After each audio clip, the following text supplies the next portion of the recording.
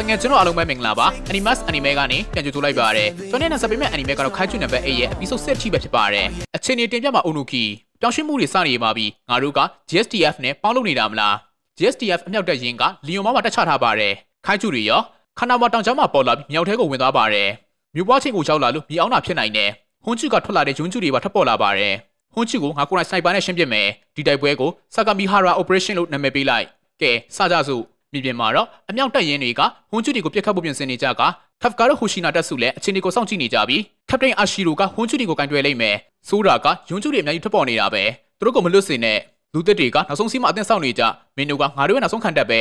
မင်းတို့စစ်မြင်ပြင်မှာဘာလို့နိုင်လဲဆိုတာကိုပြသမဲ့အချိန်ရောက်ပြီကဲစလိုက်ကြစို့ကဖကာတို့အဖွဲ့လည်းတက်ကြွနေကြတယ်တစ်ဖက်ကစောင့်ကြည့်ခံပါလေအမြောက်တက်တွေကအစင်းသစ်ဖြစ်နေပါပြီ ထပ်တင်အရှိရိုလည်းမကြခင်မှာပြမစီကိုရောက်လာပါလိမ့်မယ်အချိန်ကြပြီစီနီယာအေးငါလည်းစိတ်လုံရှားနေလို့ဖီယာတွေအောင်ခံစားနေရပြီကွာဒါပေမဲ့အကြောင်းတစ်ခုကြောင့်ငါရှင်းနေခုန်နေတာပဲပထမဆုံးမရှင်ကိုအမြန်ပြအောင်ကြိုးစားကြစို့ကောင်းပြီအဲ့ချိန်မှာပဲယွန်းကျူတွေဝင်လာတာကြောင့်ကဖကာတို့အဖွဲ့လည်းတိုက်ခိုက်ဖို့ထွက်လာခဲ့တယ်ကပတိန်အရှိရိုကစနိုက်ပါနေရာကိုရောက်သွားပြီးသူကဟွန်ချူရီကိုမြှောက်ခေါ်ပြီးရှင်းပြပါလိမ့်မယ်အမြောက်တက်တဲ့လေကြောင်းပစ်ကူတွေလည်းဟွန်ချူကိုစတင်ပစ်ခတ်နေကြပြီး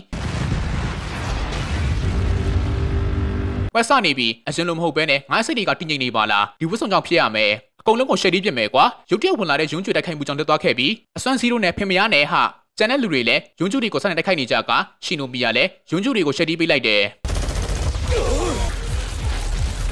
မြို့ထဲမှာလည်းပွဲချမ်းနေကြပြီးကောင်းလိုက်တဲ့ပြစ်ချက်ပဲဖူရူဟာရှိ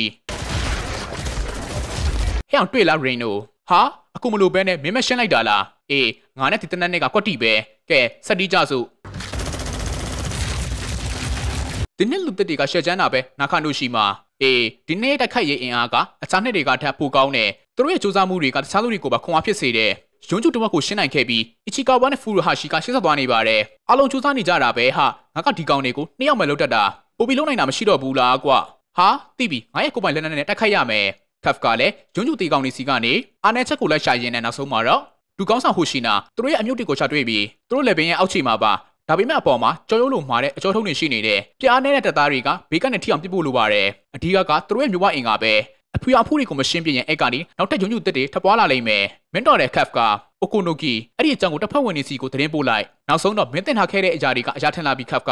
ကာကွယ်ရေးတပ်ဖွဲ့ကိုကူညီနိုင်ခဲ့ပြီးကွယုံကြည်တွေရဲ့မျိုးဝအင်ကာတွေကိုဖျက်ဆီးပစ်ဖို့လိုက်ပြောရမယ်တစ်ဖက်ကမီနာလည်းပြကွင်းထဲကိုဝင်လာတဲ့ဟွန်ကျူကောင်ကိုရှင်းတီးလိုက်တာကြောင့်ပောက်ကွဲပြီးတည်ဆုံသွားခဲ့တယ်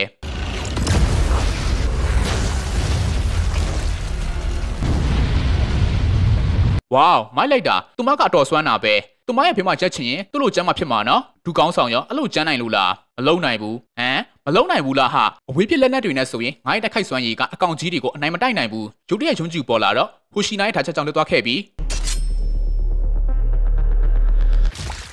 ဒါလားဟာမြန်လွန်းလို့မမြင်လိုက်ရဘူးငါတို့မိသားစုကမူရူမာချီခစ်ခနဲ့ကခက်ကျူရှင်းတဲ့သူတွေဖြစ်လာခဲ့တာလေငါကသူတို့တိုက်ကွက်မျိုးတွေမှာပို့တော်တယ် ခေါင်းဆောင်နဲ့ဒူကောင်းဆောင်ကအဖွဲတစ်ဖွဲမှာအင်အားကြီးဆုံးလူတွေပဲငါတို့ရဲ့တိုက်ခိုက်ပုံတွေပေါ်မူတည်ပြီးအထူးလက်နက်တစ်ခုစီကိုရထားကြတယ်လေကဲစကားပြောတာရရအောင်တကယ်တိုက်ပွဲကအခုမှစမှာဟွန်ကျူကလွတ်သွားပြီမလားအဓိကပြဿနာကဟွန်ကျူတွေကနေဖြစ်လာတဲ့ယွန်းကျူတွေပဲသူတို့ကဟွန်ကျူတွေရဲ့အလောင်းထဲမှာတက်ရှင်နေကြတယ်အခုဆိုရင်အများကြီးလာနေကြပြီကဲကိုလူတို့ရှယ်ဖြုတ်လိုက်ရအောင်လူတက်တွေကပင်ပန်းနေလို့တိုက်ခိုက်စွမ်းရည်နေကြနေကြပြီဒါတွေကိုကြော်ဖြတ်နိုင်မှခေါင်းဆောင်ကောင်းတွေဖြစ်လာမှာလေအသွတွေထဲမှာအဆင့်ကိုကြောင်းနိုင်တာကရှီနိုမီယာတယောက်ပဲ အီချီကာဝါလည်းရောက်မယ်ထင်တယ်အီချီကာဝါတို့လည်းထက်ရောက်လာတဲ့ယွန်းကျူတွေကိုဆက်ရှင်းဖို့သွားနေတော့ခါကျူရှင်းလင်းရေးသမားတယောက်ကိုတွေ့လိုက်တော့ဟေးလူဒီမှာဘာတွေလုပ်နေတာလဲငါချထားတဲ့မျိုးစေ့တွေကိုဖျက်ဆီးထားတာပဲမင်းတို့အဖွဲ့ထဲမှာခါကျူကောင်တွေအကြောင်းကိုသိနေတဲ့လူတွေရှိနေတာလားအဆုံးထိရှုပေးခဲ့ကြလို့တငယ်ချင်းတို့အားလုံးကိုထူးပကျူးတင်ရှိပါတယ်